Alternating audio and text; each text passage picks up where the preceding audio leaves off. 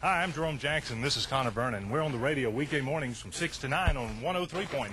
We are the lowest budgeted morning show in the area. Our budget is so low that we actually have to hitchhike to the radio station every morning. Show them the sign, Jerome. So when you're on your way to work in the morning, we hope you'll pick us up. Connor, I think we got one here.